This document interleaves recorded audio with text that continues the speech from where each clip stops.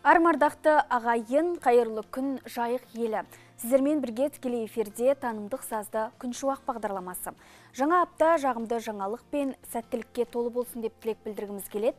Еліміздегі эпидемиологиялық ахуал бойынша қазақстанның үш өңірі қызыл аймаққа енген. Оның ішінде батыс қазақстан облысы да бар екен. Өңірімізде науқастар саны күрт өсуіне байланысты бүгін студиямызға білікті мамандарды арнайы шақырдық.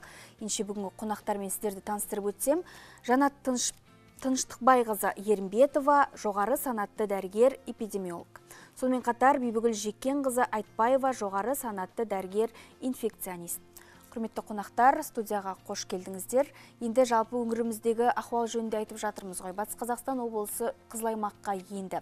Қазіргі таңдағы ахуалға өңіріміздегі ахуалға қандай баға бересіз? Батыс қазақстан облысы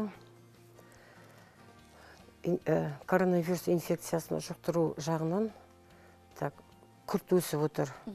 Күрт өсудің себебі соңғы екі айда э, батыс қазақстан облысы жасыл аймаққа кіргелі э, тұрғындардың емін еркін өзін сезінуі бетпердесі жүруі қоғамдық көліктерде ойын сауық жерлерде және ата аналар балалармен жүруі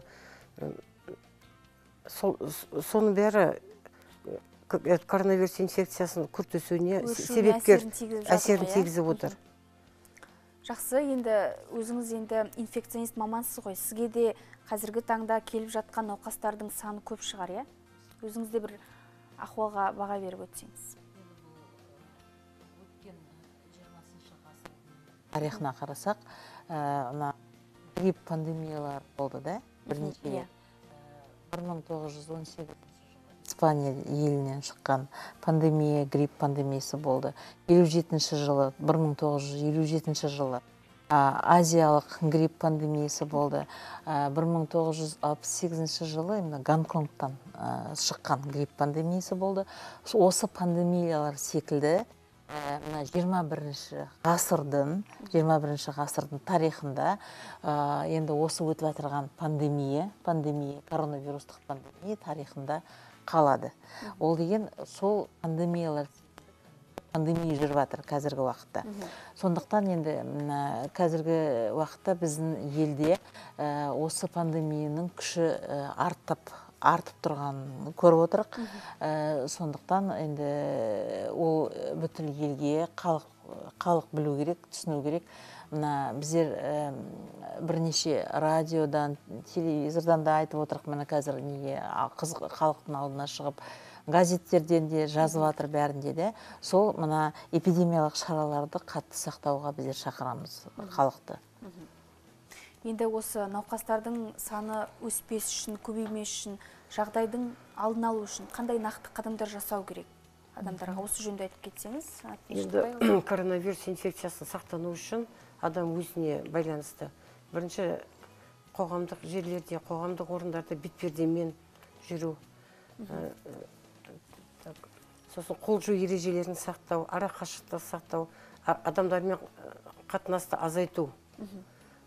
Сосын нысандарға кірген кезде бетпердемен кіріп қолды міндетті түрде иә? тері антисептигімен қолды жуып кіру. Жақсы. Сізде өзі жабық кеңістерді мына ылғалды уборканы қалай айтады? Ылғалды. Ылғалды дезинфекция ылғалды жуу иә соны иә иә. желдету. Иә. Соның бәрі. жаңа айтып кетті да сақтау. деп айтып кеттік қой енді. Бұл шарттардың бәрі де халыққа жеткізілді. Былай қарағанда.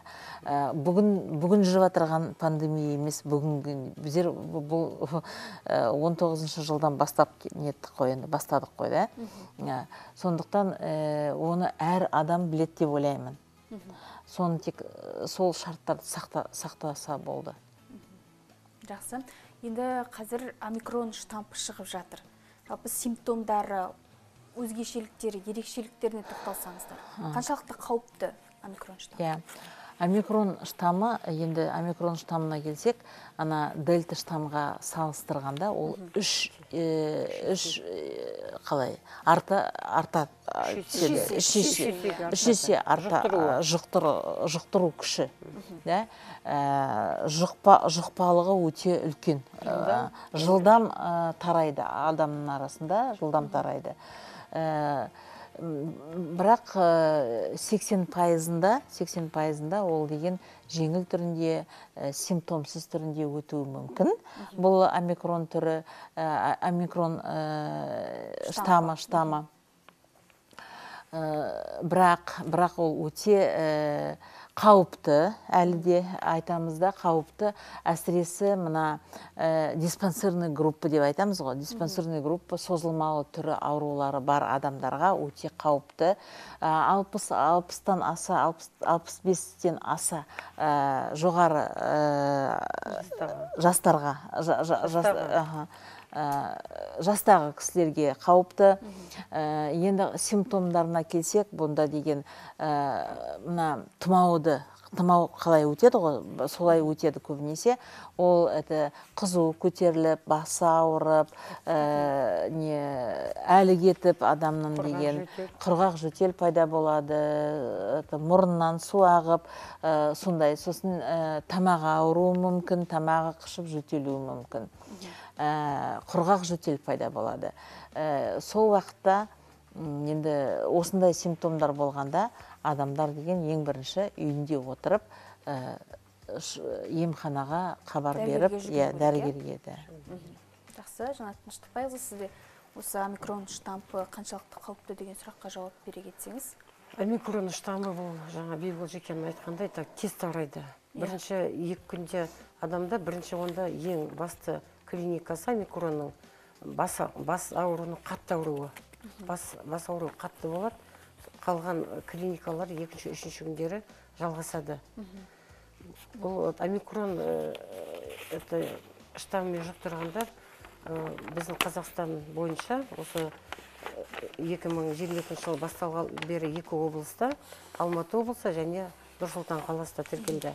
Қазіргі таңда біздің қазақстан облысында омикрон штаммымен э, тіркелген науқастар жоқ.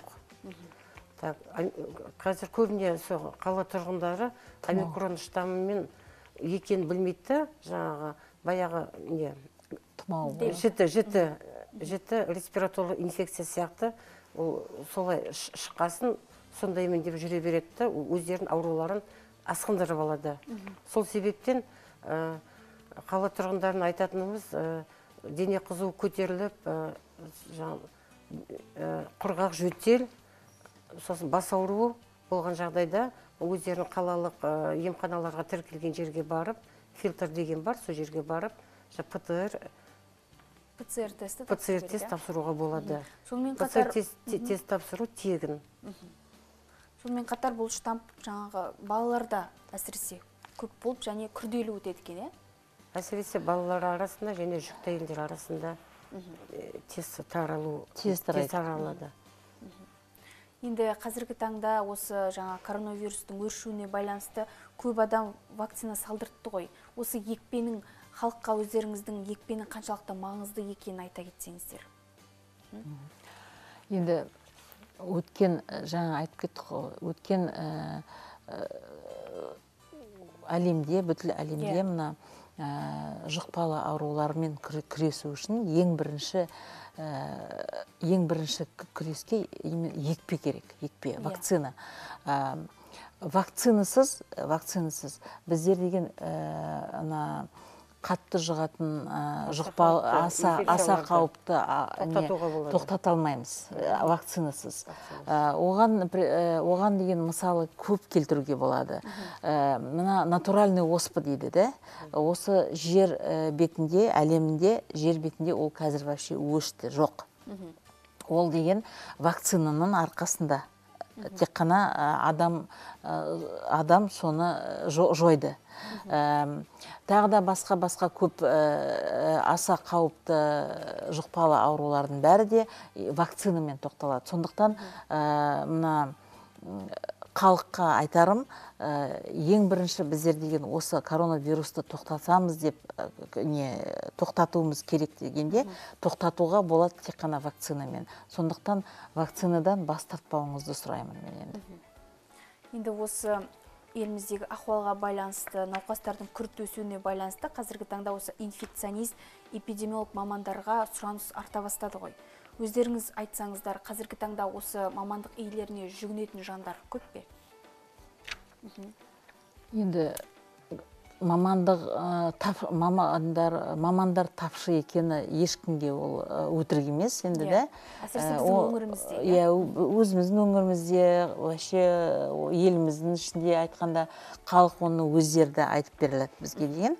Енді бұның себебі енді ойлаймын үкімет дер кезінде бұл сұраққа дұрыс көңіл бөлмеген салдарынан қазіргі сәтте мед қызметкер медицина қызметкерлерінің тапшылығын ну, көріп отырық да енді яғни бұл яғни бұл кадрлық нені политиканың жоқтығы деп та ойлаймыз енді біздер енді бір қазіргі уақытта енді пандемиямен неме бұлар себеп болған болар деп ойлаймын.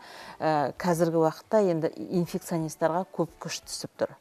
Инфекционист мамандарына мамандарына деп ойлағаным үлкен жауапкершілік иә үлкен жауапкершілік. Енді бірақ енді ойлаймын көп рахметімді айтқым келеді. Мына бүткіл медицина қызметкерлеріне дәрігерлерге әр саланың дәрігерлері бәрі бір топ болып бәріміз бізге өте көп көмек көрсетіп жатыр былай қарағанда да? Мына ошақтың ішіне бізбен бірге кіріп бүткіл доктор хирург терапевт эндокринолог болсын гинеколог болсын қайсысы болса да бәрі де сол ошақтың арасында бізбен бірге жұмыс істеп жүр. Соларға көп көп рахмет иә өте жақсы.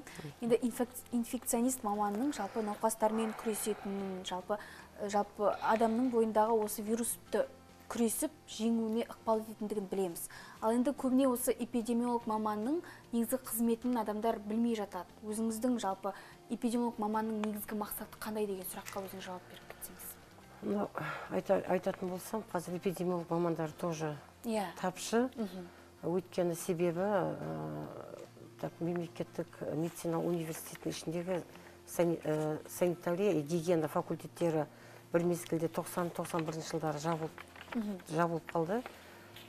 Содан қазір жаңа жалпы медицина сосын қоғамдық общественное здравоохранение общественное здравоохранение факультеті бар. Онда олардың жаңа түбіне дейін оқытылмайды эпидемиология мамандығы. Кәсібін қалай игеру. Біз өзіміз сол сангек факультетін бітіргенде эпидемиолог бізде эпидемиология деген жеке сабақ болатын бөлім болатын тұғын. Сол бөліммен сол жаңа қалада басқа жаңа ауруханаларда шыққан инфекциялармен қалай жұмыс жасау керек оны жаңа шығу себебі жұғу жолдары оны алдын алу шаралары бәрі бізге оқытылып дер кезінде содан білім алғанбыз. Енді қазіргі таңда эпидемиолог мамандары енді енді қолға алынып жатыр. Ол эпидемиолог мамандығы ол жаңағы ошақты табу жою жолдары жұғу жолдары және алдын алу шараларын зерттейді зерттейді. Жақсы. Енді өздеріңіз де айтып жатырсыздар осы вируспен күресу жолдарын сонымен қатар үй жағдайында осы вирусқа шалдыққан кезде қалай емделу керек? Көп халықты алаңдататын сұрақ қой. Өзіңіз айтып кетсеңіз. Ол ең бірінші мына біздер айтып жатырмық қой. Қалай басталады бұл ауру? Иә. Осы аурудың белгілерін ұмытпау керек. Белгілері ол мына жаңа бірнеше рет айтып кеттік. Бірінші басы ауырып тұмау тұмауыр сияқты басталады да қызу көтеріліп иә селсоқ болып не әлі кетіп адамның да. Сондай қызуы көтеріліп сондай уақытта сондай белгілер белгілер пайда болғанда ауырған адам ә, үйінен шығып очередь неге емханаға жүгіріп бармай оның өзі ә, телефонмен ә, да, да сөйлесіп ә, бригада. күту керек ә, бри- мобильный бригаданы мобильный бригада ә, міндетті түрде ол деген шығады. Мобильный бригада келгенше қызу көтеріліп жатырса ә, көбірек сұйықты ішіп су су болсын жылылай ә, шай болсын соны көбірек ішіп қызуын түсіріп парацетамол ішіп оқшаулану керек. Да, күтіп отыру керек да. өзі жеке бір комнатте жеке гигиеналық заттарымен Да. өзі жеке бөлмеде болу керек. Жеке бөлме бөлме болса жеке бөлмеде отырып сол күту керек. Ә, келгесін ә, дәрігер ә, міндетті түрде қарап емін қабылдайды. Б- не мазок пцр қалай еді? Пцр тестін алады.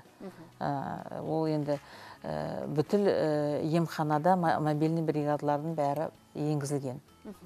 Қазір бар. бойы жұмыс жасайды қазір қазір жұмыс істейді олар деген енді сіздер осы 2019 жылдан бастап жаңағы коронавирус вирусы пайда бола болды ғой біздің елімізде.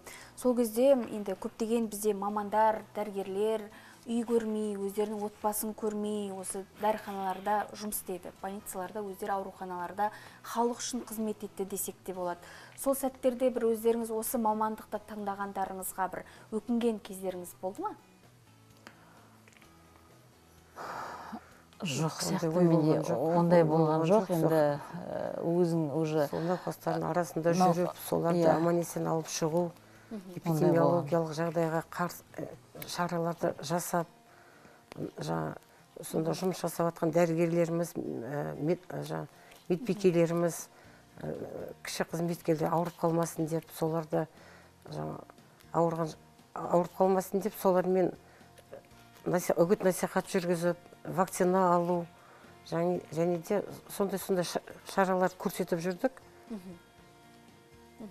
Ну инфекционист маманына келсеңіз ол ә, инфекционист маман ә, инфекционисттің жұмысы өте қиын. Оны ә, айта, айта өтірік айта алмаймын енді. Қиын да ә, қауіпті енді жұқпалы болғасын енді жұқпалы. Ә, бірақ өте қызық. Өте қызық жұмыс. Ол өте қызық болғаны сіз ауру адамды қабылдайсыз. Ә, ауру адамнан деген сіз ә, не диагнозын ә, дұрыс қойып емдесе ол ә, емделінетін зат енді. Ә, сол уақытта ә, как-то өзіңізге қалай қорғаныш. а? Өз өзін қорғау. Да жоқ өз өзін қорғау емес енді. Как то не аласыз. Мотивация да аласыз, иә? ала- мотивация аласыз аха. Өз жұмыс ол, Қызықты, иә. ол үшін жалпы өзіңіздің мамандыққа деген бір үлкен махаббат қызығушылық керек қой иә? енді тағы осы орайда сұрағым келіп тұр. Неге осы дәрігер болу мамандығын таңдадыңыздар сіздер? Кім себепкер болды осы салаға келулеріңізге?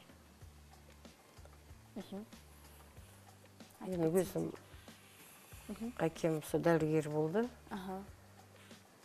Содан соған қызығушылық басталды енді. Иә. Кішкентай кезімізден бастап. Әкеңіз себепкер болған болды әкем иә? себепкер болды. Содан енді ары қарай өзімнің қызым балам бәрі дәрігер болып бітіріп қазір жұмыс жасап жатыр. Халыққа қызмет жасап жатыр. Өзінің жо- жолымен жүріп. Он- бұл эпидемиолог болсын мейлі ә, дәрігер болсын бұл мамандықты таңдағаныма өкінбеймін.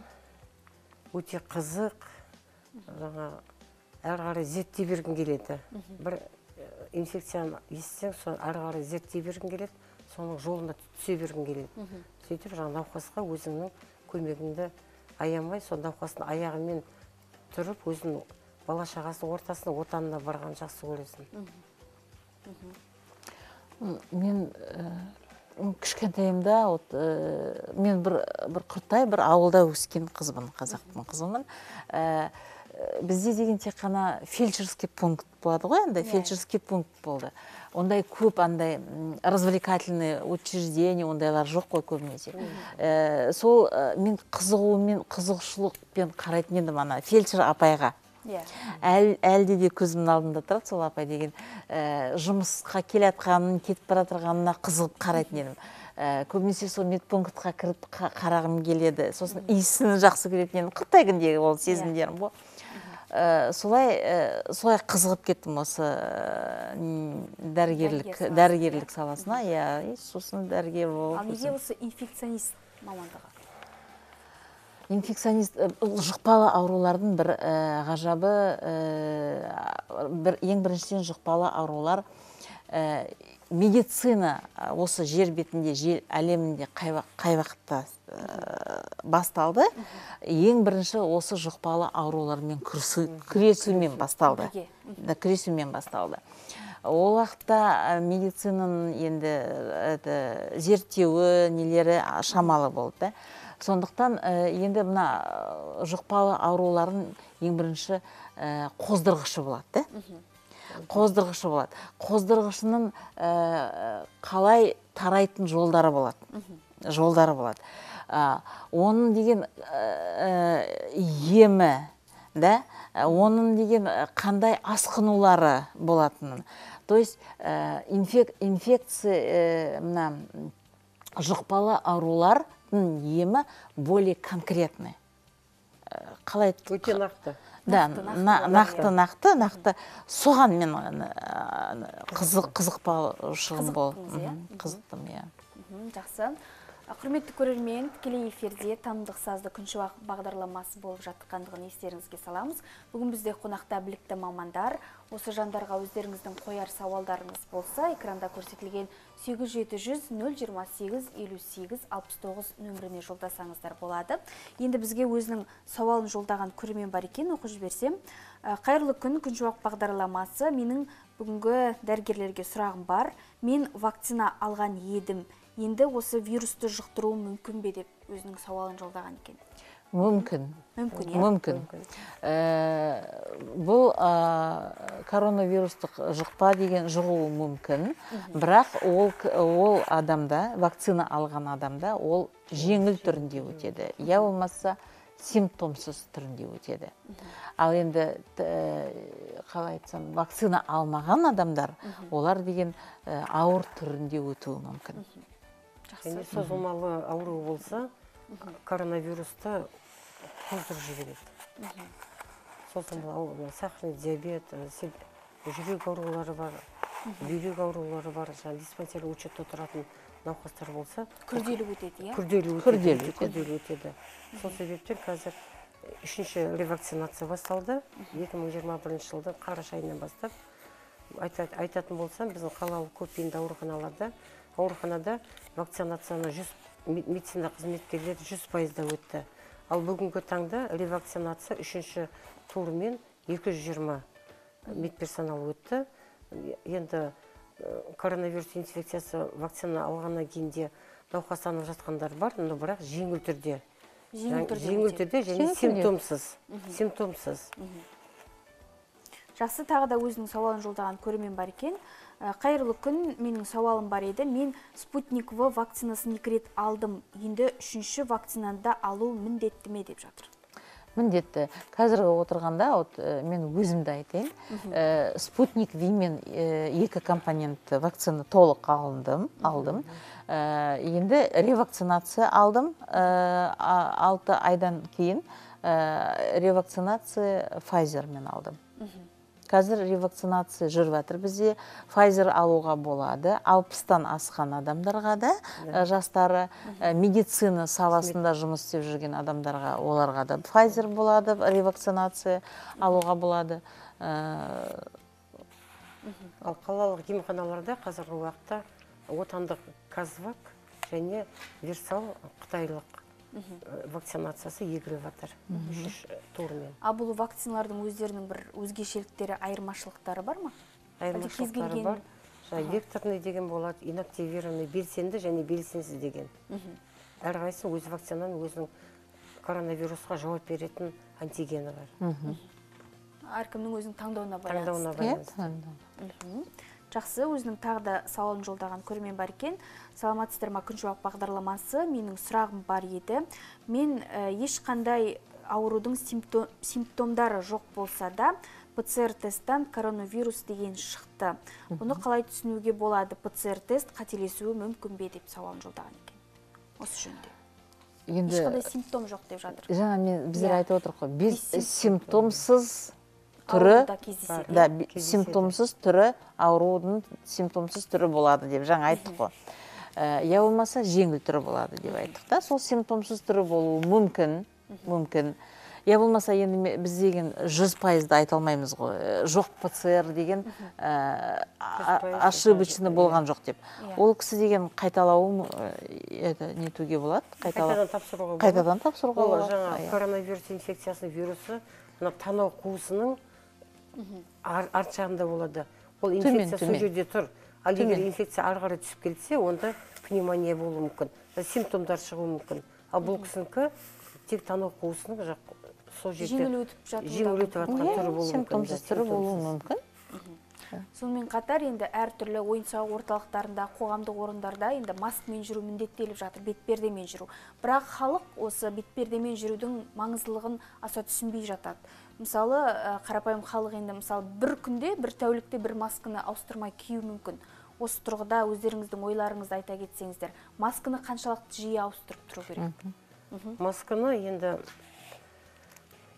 әр екі үш сағат сайын ауыстыру керек. Егер де бір рет пайдаланатын. Ал егер де көп рет многоразовый дейміз ғой многоразовый. Иә.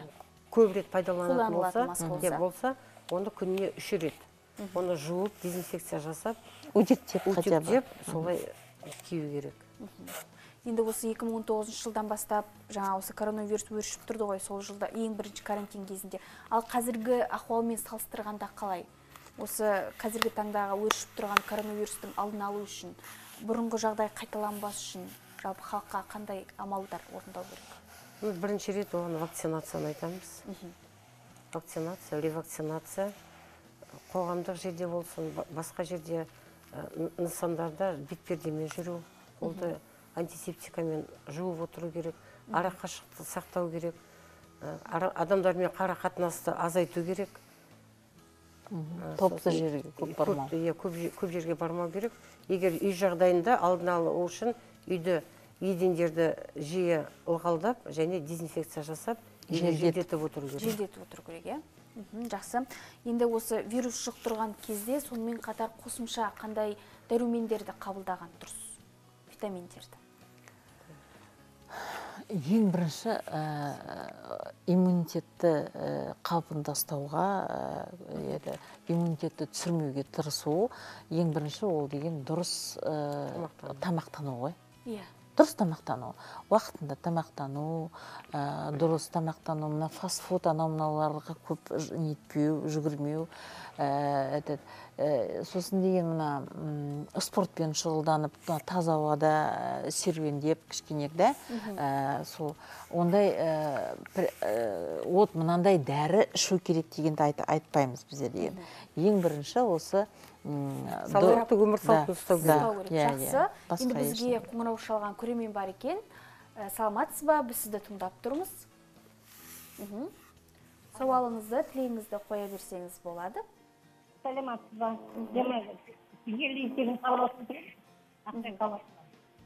Мен ақтай жасым алпыс бірде пенсионермін. Не бывший не инфаркттан өттім екі рет инсульттан өттім екі рет. Енді маған қандай вакцина алуға болады файзер бізде жоқ дейді алуға бара сұрасың даусыңызды қатты шығарып айтсаңыз естілмей жатыр. Мхм. Даусыңызды қаттырақ шығарсаңыз. Бе ал мен қаласынан мен деген гипертоник аха.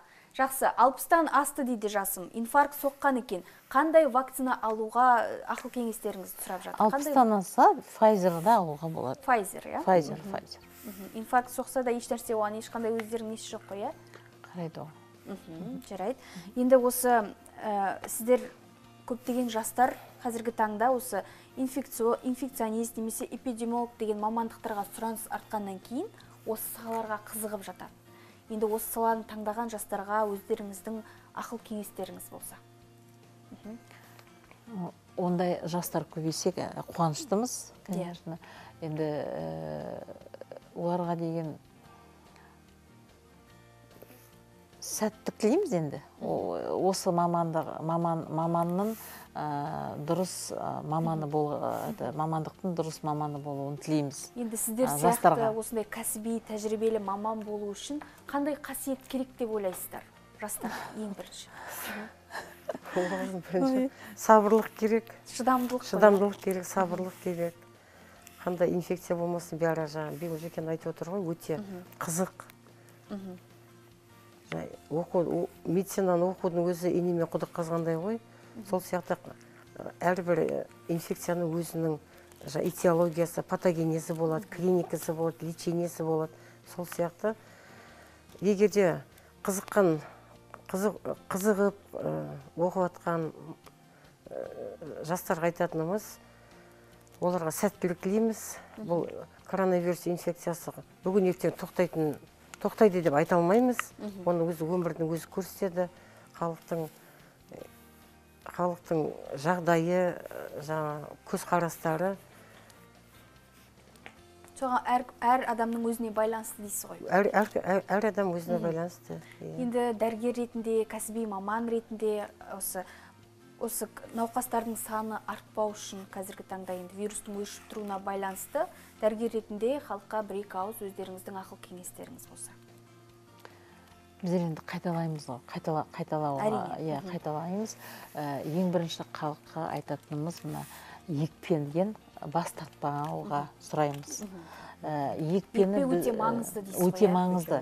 Ә, осы екпені біздің елде ә, мына жер бетін әлемде 80 пайызды 80 пайызды ад- ә, пайыз адамдардың бәрі екпе егілсе бұл ә, жұқпа бұл жұқпа тоқтайды. Тоқтайды. Вирустың алдын алуға болады дейсіз тоқтайды иә алдын алуға болады. Бұл ә, бұл жұқпа ә, мына тұмау деген жұқпалар бар ғой мына грипп тұмау деген. Сондай болып ол өмірде қалады. Ә, бірақ ол біздерді былай ә, бізге былай қатты ә, қатты болып тимейді қа- халыққа. Қатты ауруларға әкелмейді. Қазір қазіргі уақытта біздер қазір пандемия уақытында жүріп жатырғанын көріп жатырмық қой. Пандемия болады неге болады? Мына халықта қарсы иммунитет қарсы тұра алмайды. Ә, сондықтан біздің ә, әлемде мына коронавирустық жұқпа тоқта, тоқта, тоқтасын деген адам адам болса ә, енді бәріңізді де екпе алуға ә, шақырамыз. иә. Ә, мына европа шетелдерде балдарды да екпені 5 жасардан бастап 5 жасар баладан бастап екпе егіліп жатыр екпе егіліп жатыр бізде деген үлкен адамдар екпе ала алмай жатыр түсінікті ма Әлі. Сенбейді да? әлі сенім сенбеушілік көп. көп. Сенбеушілік көп. вакцинаға деген сенбеушілік көп. Но вакцинадан бас, тарт, бас, та- бас тартпаңызшы деп өтіне ә, өтінеміз біздерді шақырамыз. Ә, ең бірінші вакцинаны алсақ сонда ғана біздер оны тоқтата аламыз. Екінші енді мына эпидемиялық жолдардың бәрін сақтау жаңа айтып да, айтып ұстау. да? Қатаң ұстау соны сақтау мына бетпердені киіп ә, тағып жүру ә, көпшілік жерге бармауға баста не тырысу иә. Мына біздің халықта өте көп мына той думан бесік салу Иә, білеміз ғой енді бәріміз. Это иә иә қазақтың салты этот оны мен салтқа қарсы шығып тұрған ештеңем жоқ. Енді ол мына пандемия пандемия уақытында пандемия уақытында салтымызды кішкене ә, нетіп иә кейінге шегіп иә мына эпидемиялық жолдарын сақта, сақтауға тырысу керек. Иә соған шақырамыз енді халықтың бәрін. Жақсы. Сізде бір екі ауыз өзіңіздің ойыңызды қоса мен кетсеңіз де сол дәрігер инфекционист бегім жәкен айтқанда қосыламын. Халықты вакцинацияға шақырамын. Оған вакцинациядан ешқандай зиян көрмейді. Коронавирус инфекциясын алдын алу шараларын бәрін сақтап жүрсе әркім өз өзіне жауапты болса бұл инфекциядан құтылуға болады. Өте жақсы құрметті қонақтар. Алтын уақыттарыңызды бөліп ә, шақыртуды қабыл алғандарыңызға алғыс білдіреміз. Ақыл кеңестеріңізді айтқандарыңызға рахмет айтамыз. Еңбектеріңіздің жемісін көріңіздер деп тілек білдіргім келеді. Жақсы құрметті көрермен деніміз сау болып сақтық шараларын қорғанып сақтап жүрейік. Себебі сақтықта қорлық жоқ. Жан тәніміз қуатты әр күніміз шуақты болсын. Келесі кездескенше аман есен болыңыздар.